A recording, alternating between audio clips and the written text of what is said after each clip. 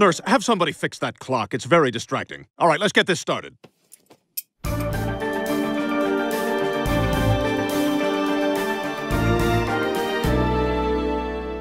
All right, halfway done. Uh, Dr. Hartman, is everything all right with my dad? Griffins, I'm afraid we lost him. What? Oh my god! Hey guys, Oh, there he is. it worked! I'm free at last! But what about Chip? Where's Chip? Hey everybody, look who's walking! Yeah! Oh, Chip, I'm so glad you're okay. Yeah, and I'm okay too. So, uh, you know, Chip, now that you're a free man, this is a chance for you to go out and make a real life for yourself someplace. I'll tell you what, anywhere you want to go, I'll FedEx you. What are you talking about, Peter? Chip is part of our family. He's staying with us. What? Yay! Awesome!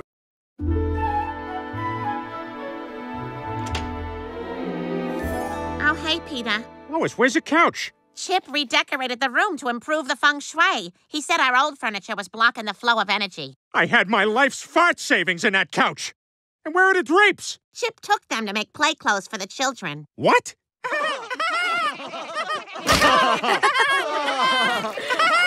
hey, Peter, you're home. Hi, Dad! Hi, Daddy. We dug a lake for this. Come out of that water at once! Gosh, isn't Chip wonderful? Oh, he's not wonderful, Lois. He's annoying. I don't get why everyone's so in love with that guy. What's so great about him? Well, to be honest, the same thing that used to be so great about you. What? What are you talking about? Just that when you were younger, you were as passionate and full of life as him.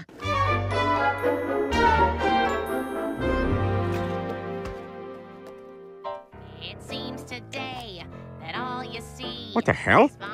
Is violence in movies and sex on TV. But where are those good old fashioned values?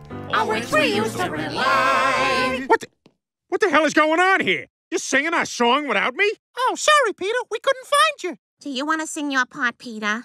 Go ahead. But where are the fashion, good fashion? I don't want to.